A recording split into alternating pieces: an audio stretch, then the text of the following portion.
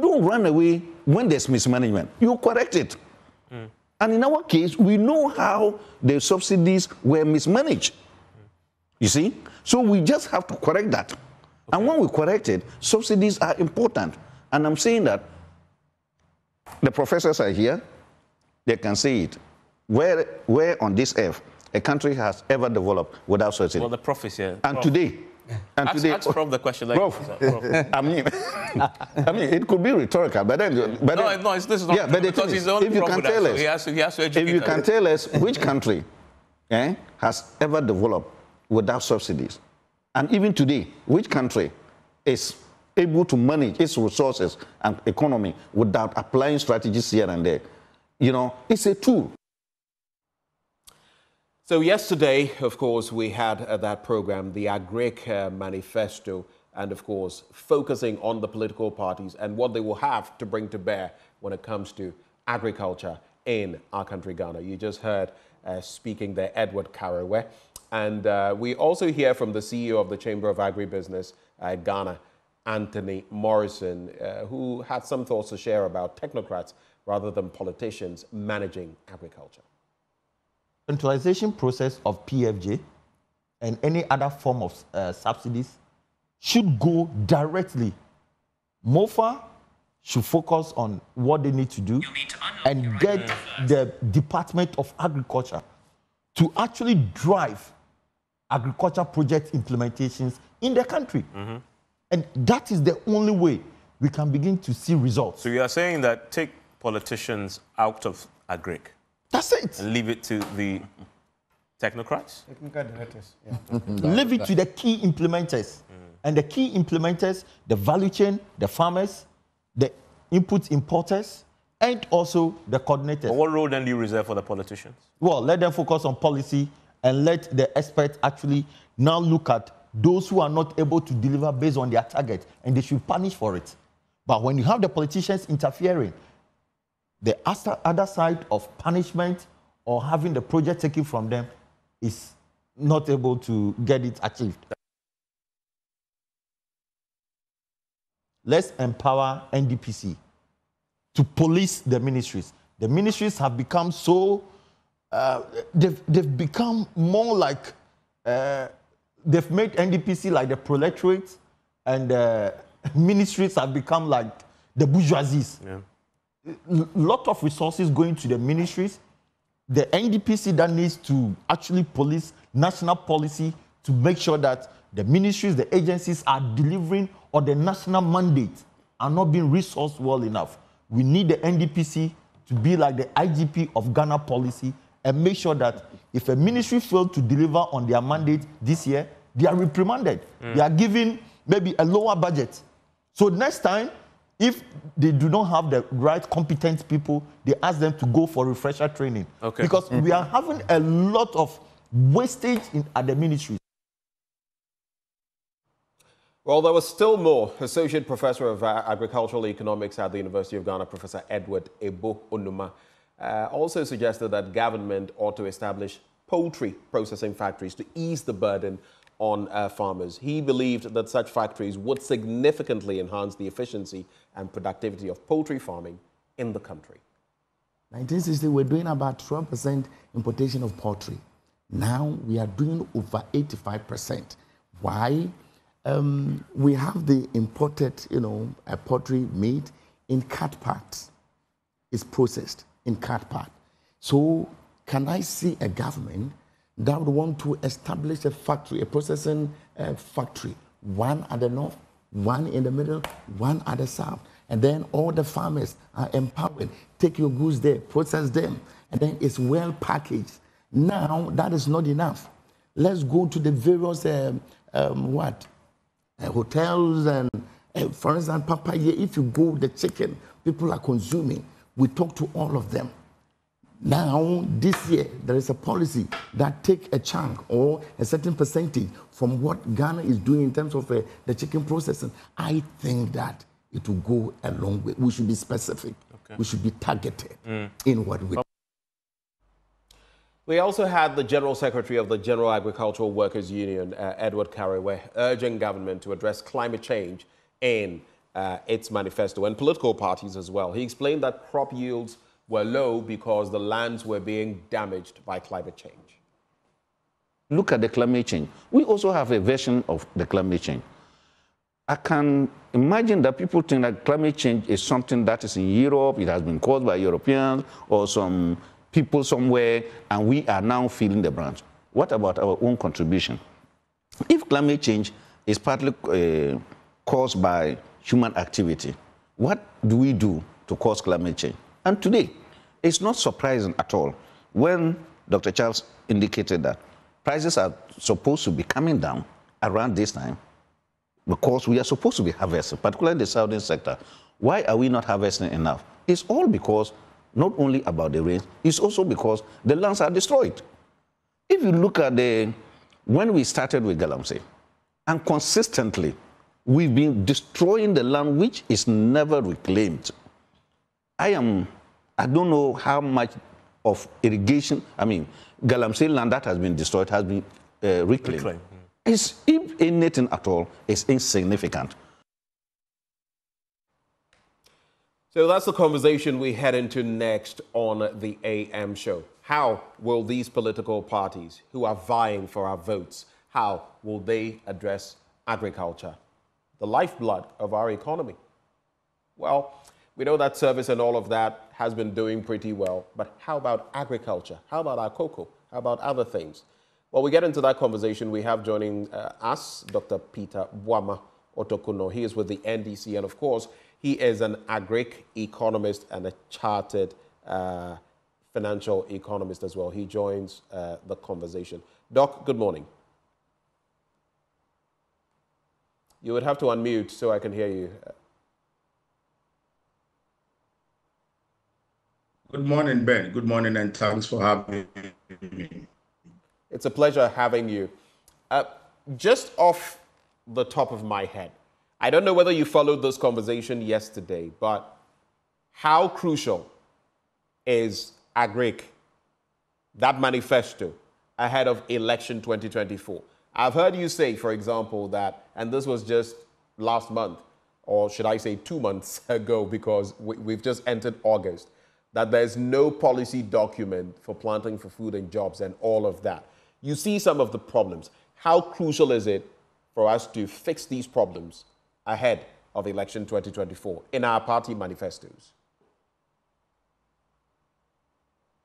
First of all, let me emphasize that the Ghanaian economy, as it were, is supposed to be agrarian economy. And that means that if you look at our economic structure, agriculture is one of the key uh, elements of the structure. And so we are we run a three-sector economy. We have agriculture, industry, and services. And you would realize that agriculture has been doing somewhat around 19.7%, 20% in the past few years. But what people do not know is that agriculture is an aspect of the economy which has implications or effect on industry and services. If agriculture does well, it means that industry will do well and services will do well. That means that any government that would target and focus on agriculture would exponentially grow the economy and create jobs. But let's come to the problem of agriculture in Ghana. I think that the problem of agriculture, which is leading us to, I mean, close to food insecurity as a result of higher food prices and uh, low nutrition, unavailability of food, inconsistent supply of food. We have seen in the past few uh, months the price hikes in food. Uh, some of the food items we are not able to get them, some we have to import, and all those things. It's actually the key problem of this economy because if you look at our macro economy. You look at the, the fiscal challenges we are having. You look at the exchange rate challenges we are having. All can be traced down to agriculture. And so fundamentally fixing the problem of agriculture would ultimately fix the problem of this country. Indeed, there is no developed country in the world that does not prioritize agriculture or that its, its development or its growth was not driven by agriculture. And so the need to focus on agriculture cannot be overemphasized. But let's look at the issue of agriculture. Let's look at the problem of agriculture. I would want to break down the problem of agriculture into maybe, let's say, um, three broad themes uh, the demographic problems, the socioeconomic problems and the institutional problems. Let me first of all start with the demographic problem. We know in Ghana, agriculture is mainly a smallholder activity. Smallholder means individual households, families. Mm. Some are women, some are men, and they, they, they cultivate five acres of land, and some cultivate one acre, some cultivate two acres. So in small bits and pieces. And so you have almost about 40% of your population in agriculture, but they are mainly smallholder farmers, and it is contributing 20%. So what it means is that when you tackle you tackle productivity level, productivity at the smallholder level, you improve their technical efficiency and their output increases, you would ultimately be, you know, inching closer to achieving your objectives in agriculture. And so we must look at the challenges at the smallholder level, the, the, the household income, the off farm income, because all these things play in the performance or the efficiency of the farmer. If you have a farmer, a farm household that is led by a woman, the woman has no alternative jobs, all she does is agriculture throughout the year, and you have one season of rainfall, or let's say you have two seasons of rainfall, how can the person be able to grow to feed the nation? you won't be able to do that. And so there would be some lacuna, an input lacuna that must be addressed. And I'll come uh, uh, to that very soon. Then there are the socio-economic factors, which mainly has to do with input cost, cost of production. So the input cost is so high because most of the inputs that we use, the agrochemicals, the fertilizer, are all imported. Fertilizer is now almost 450 Ghana per bag agrochemicals, I mean, exceedingly high. If you look at the growth rate prices in agrochemicals, it will shock you.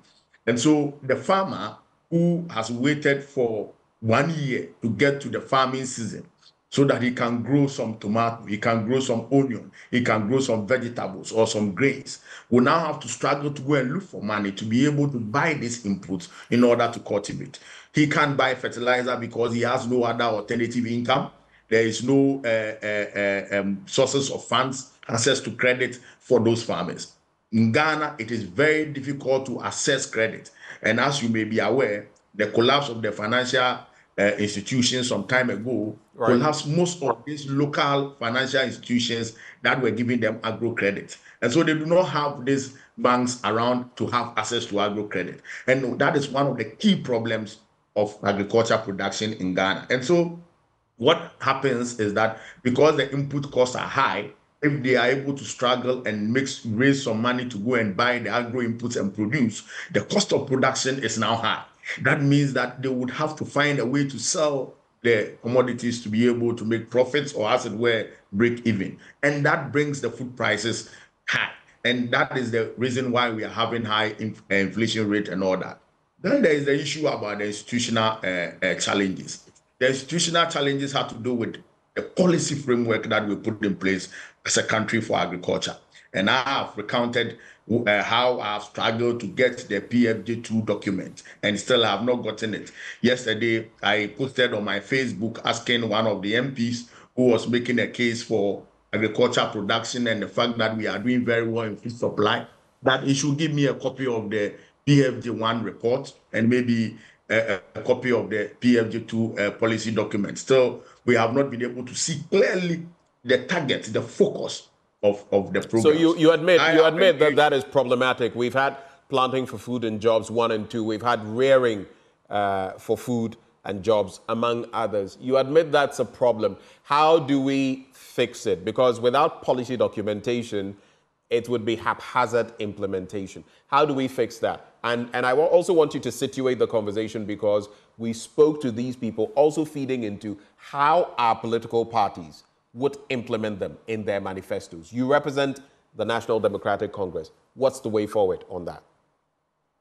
So let me make this point that I have also engaged some of the um, the officers or the technocrats you you you had on your program. Um, I've engaged the Peasant Farmers Association. We've engaged GAWU. We've engaged the Ghana Farmers and Fishermen Association. And most importantly, their biggest problem is policy credibility and the policy implementation processes.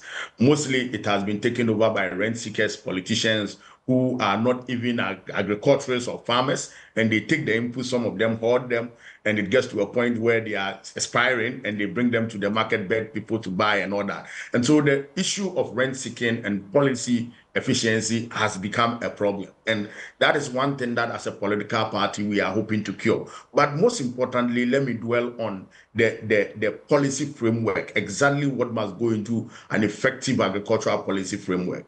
First of all, the policy framework must address the issue of production. And so the production, the cost, there is a need for subsidy, how the subsidy regime is, is programmed. Now, the kind of subsidy regime we have seen is just to favor some few private political, you know, businessmen.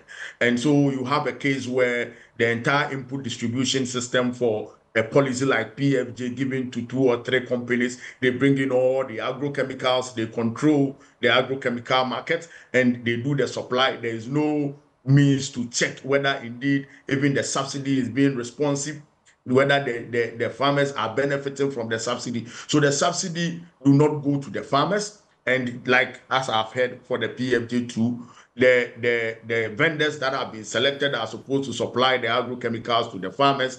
Then um, the, the government would, would pay them after a point in time. And uh, the proposal again has been let's give the, the, the agrochemicals to the farmers when they harvest their crops. We buy the crops, then we deduct the cost of the agrochemicals from it and give them the difference and all that. And all this is shrouded in some opaque arrangements which uh, nobody understands. And that affects the effectiveness of the policy. You heard the, the, the association uh, complaining about the fact that they were not even consulted in most part of the arrangements and all that. So the institutional arrangement to design these policies are very crucial. When you have dealt with the issue of production, now the biggest problem again is access to markets. So how do we access the markets? Now we are in the tomato season. Already farmers are complaining that their tomatoes are ready and it is getting spoiled. And what, what is the problem? The problem is that the transportation systems are poor, the, the aggregation systems are poor, the access to the markets are poor.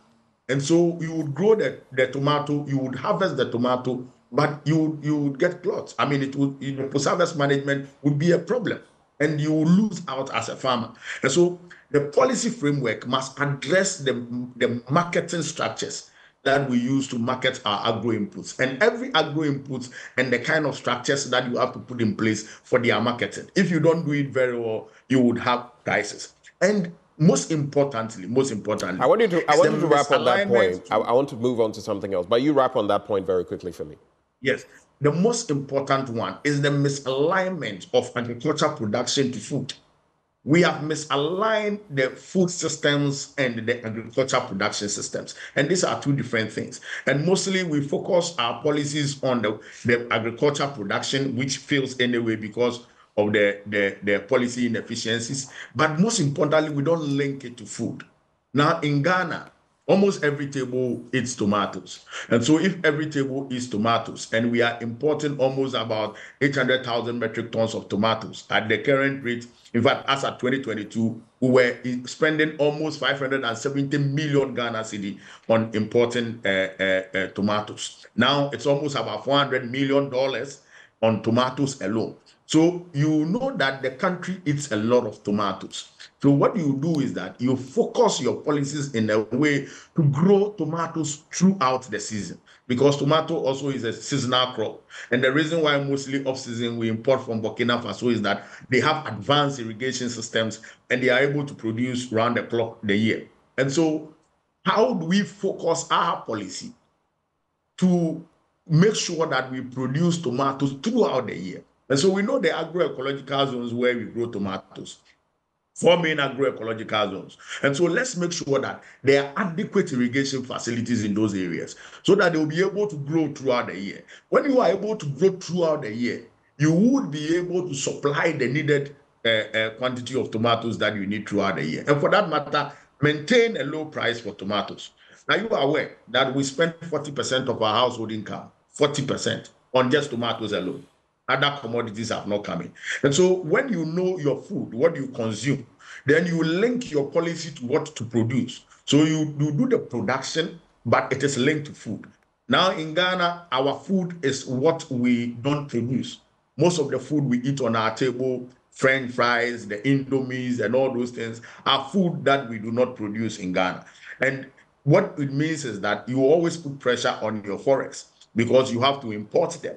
And so if you are able to link your food to what you produce, then you would be able to be producing locally, cut down importation, and that's where import substitution comes in. All so right. most of the most part of the food ingredients that you would use Right. would, would, would be grown in the economy. Then finally, as part of the policy, you look at an agro processing or value addition program, which would, as it were, agro industrialize and add value. Because the thing about food security is that it has four legs, and convenience is one of them.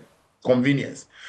People will eat the food because it is convenient and easy for them. For example, Indomie has become very popular because people would just pour water on it and three minutes is ready. And so, if you are going to spend two hours to prepare fufu or a banku, you would rather go for Indomie to save time. And so, our agro industrialization or agro processing regime to target how to make our food that we eat more convenient in terms of processing. So, I love yam and palava sauce, but it will take a long time and some inconvenience for my wife to peel the yam, put it on fire, and boil and all that. How do we look at processing yam? How do we look at processing cassava? How do we look at processing plantain, for example? So that just as you go to the shop and buy French fries and just pour it into the oil and you have your French fries, we can have some products that are generated from our local foods, which are produced here, and be able to save the economy. Right. And so these are things that are very crucial that must make space in, in, in, in policy. I'm glad that you're saying it must make space in policy. I'll get there shortly. You've, you've already spoken about the misalignment of agri production, the lacuna or lacunae in uh, some of Ben, the, I the inputs, among, among others. Um, Ben, I lost you briefly. I am saying that you've mentioned a number of things, just, just to be uh, brief on that. But there's also not, I wouldn't call it emerging because it is with us, GMOs. And in recent times, we've had quite a conversation on it. There are those who still believe no, it is not the right way to go. There are many problems with it. And there are those, like the CSR, who think, well, it's a good way to go. What is our positioning, especially on the back of food security? What is your party considering in terms of GMOs? The CSR is doing some work on that. But is it, is it what we need now? Is it in the right direction? Is it positive from where you sit? What would be your approach to GMOs as a party? First, let me start off by saying that the role of biotechnology in food security cannot be overemphasized. And if you don't improve your foods, you can't improve your productivity. If you don't improve your seeds, you can't improve on your productivity. Because, uh, I mean, as we have it, the productivity of every farm depends on the kind of input you put in there. You put garbage in, you get garbage out. Our maize seeds that we were producing in Ghana were yielding about one metric ton per, hec- per acre or per hectare. Uh, there are improved breeds through biotechnology developed by the crop science department and even CSR before the advent of GMO, which could shoot our average productivity or yield per hectare to about 2.5 and 3 uh, metric tons per hectare. And I believe that was some significant improvement through biotechnology. Now, the other aspect of biotechnology is what you call the GMO. And so the GMO looks at some challenges of the crops and uh, um, design some biotechnology instruments to cure the challenges. For example, you have some crops that, like cowpea, that are attacked by the borers.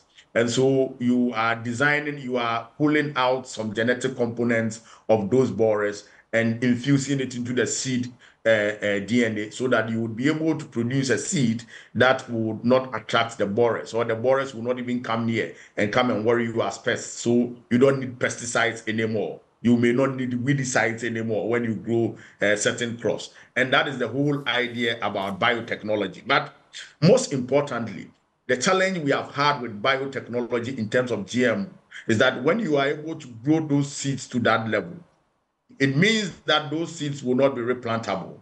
And again, you know, naturally, God created the ecosystem in such a way that. So, so you're saying they would be sterile, right? Yes, they would, they'll be sterile. And all those um, pests and weedicides help in the ecosystem to make the ecosystem stable and sustainable. And so when you take those things out, then it means that the ecosystem will not be sustainable.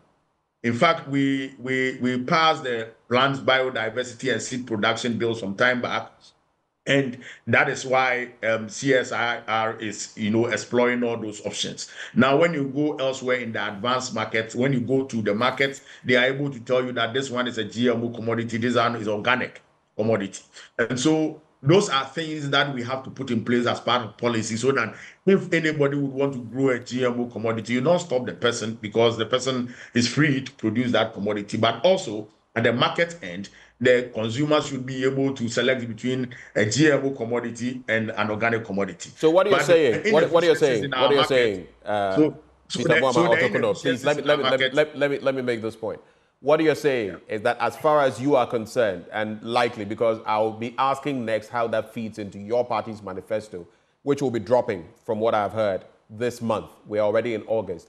What that means is that the NDC is not against GMOs, but you want categorization, for example, so that people will be able to select between GMO foods and organic foods without any uh, genetic modification. That's what you're saying. I am saying that there's a need for us to regulate GMOs production in Ghana. So you are not against GMOs. Regulation that it is control and it is We have some challenges with the connection to Dr. Peter Boamah Otokunor. We'll try to uh, regulate that. We'll try to see whether we can get uh, him back so that we can hear everything he's saying. And there's a reason I'm putting him to the sword on that point, so that when we see their manifesto, we can reconcile what was said and what is in the manifesto. Of course, we want to see what their approach will be to genetically uh, modified organisms as far as our agri sector is, is uh, concerned. Uh, Dr. Tokuno, can you hear me now? Ben, I can hear you. I, I, I didn't quite catch what you said.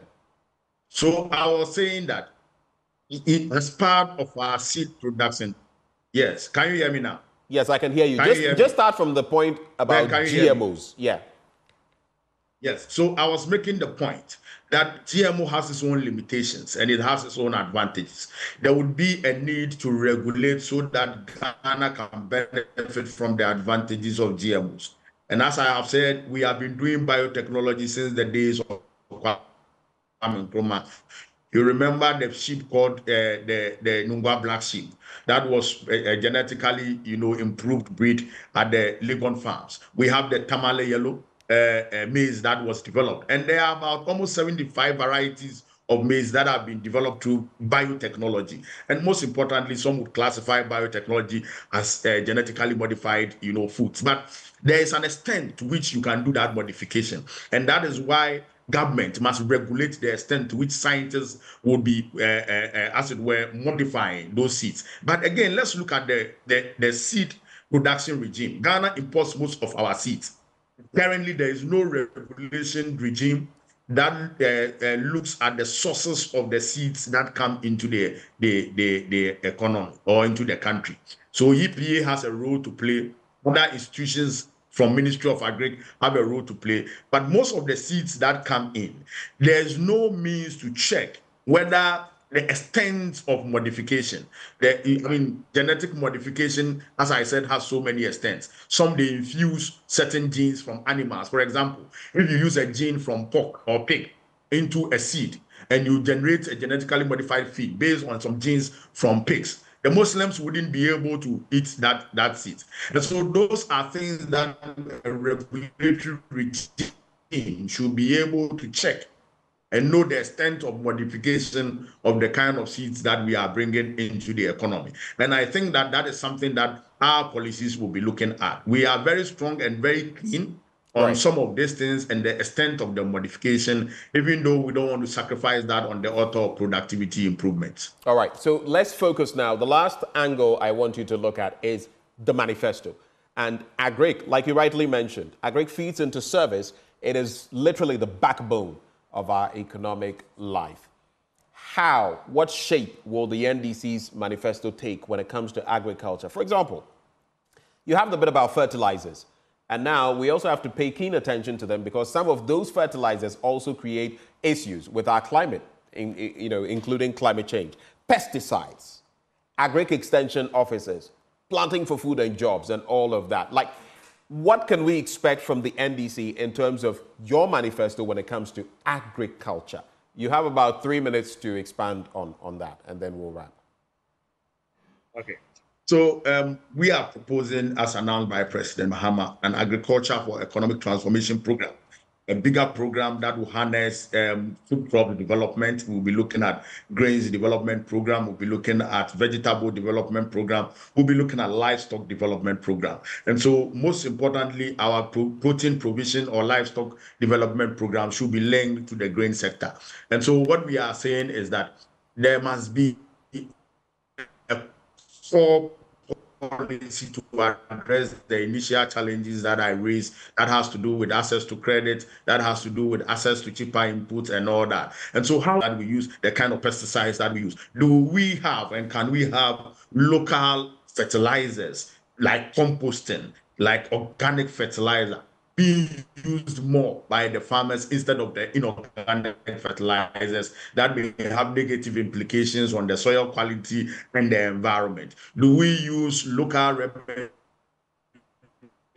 for pesticides, for example, that will help us to? Those are things that we are going to look at. So under the agriculture for economic transformation program. We are looking for a, we are looking at a stimulus arrangement that will get most of the agro inputs produced here in ghana so that we'll be able to cut down the cost of these agro inputs like fertilizer and so on and so forth. We would recall that before we left power in 2016 we had made an arrangement for a compost plant to be uh, um, set up in Ghana so that we'll produce more compost for those who would want to apply organic fertilizer on their farms to increase uh, productivity. I don't know what has happened to the compost plant uh, Amasaman that was built uh, by I think Zoomlion or so. But those are the areas that we have to look at. I have seen on TV Kantanka doing a lot of stuff on you know uh, producing uh, locally manufactured pesticides and weedicides, for example, which we can look at industrializing and producing more in Ghana so that we would be able to control the prices.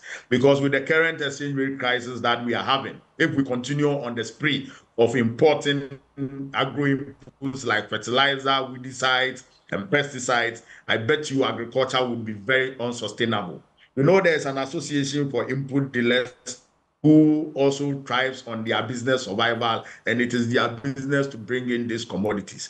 There would be a need for government to engage so that most of the tariff regime or some of the uh, subsidies that they are giving, or if you want the tax exemptions that they are giving, can be remodeled in such a way that they use those incentives to set up manufacturing plants here so that we produce them here, so that we don't put pressure on our exchange rate. When we are able to do that, we believe that we'll be able to increase productivity in our grains, for example, do product specialization. And that is one key aspect of the policy. Right. You must do product specialization. Know the kind of food crop commodities that you are producing. Target. So you target maize, you target soya bean, you target rice, you target sorghum, you target millet. These four components, when you are able to focus and not spread your resources wide, you would be able to improve the production of those ones because the livestock sector also uh, relies strongly on the maize and soya beans. As we speak, for the past five months, uh, sorry, for the past one month, I've been looking for soya bean to buy for my farm, and I'm not able to get soya bean anywhere. I am struggling to get for one month now. I needed only 100 bucks, and it's a problem. And so the, that is the challenge. Meanwhile, we have, I mean, from the middle belt, the uh, the forest savanna zone, middle transition zone, up to the north is a place where you can grow soya bean and it does well anywhere. So why are we struggling with soya beans? Now we have a challenge with our policies even on soya bean. So we do exportation of our soya beans or we have a, a, legal regime or legislative regime that will stop the exportation of soya beans because right. now we import eggs. Ben, I don't know whether you are aware we import eggs in Ghana. Eggs, eggs are imported. How? how, as a country like Ghana, why should we import eggs? But it is mainly because the food cost for, for, for the poultry industry has gone exceedingly high. Eight years ago, you would buy one bag of feed for about 60 Ghana cedis. Now you are buying one bag of feed for almost 400 Ghana cedi. And that is even the mixed feed. If you are looking at the raw feed ingredients where you do your own mixing, maize as, as of today is 350 Ghana cedis per 50 kilos. And I think that is exceedingly high. That is unsustainable okay. for any farmer to right. indulge in. And if indeed farmers are going to produce right. at this rate, then it means that very soon you may be buying eggs at 80 Ghana cedi or 90 Ghana cedi per crate. Well, these are all issues that we hope to see you address in your party's manifesto, like you promised, um, around the middle of this month, or at least by close of the month. Dr. Peter Boamah Otokunor, we are grateful for your time. Thank you for joining the conversation. Thank you for having me. And of course, he is an agricultural economist. He is also a deputy general secretary of the NDC. And as we tackle this matter from the political parties, we'll be bringing other political parties as well to share their thoughts on uh, this sector.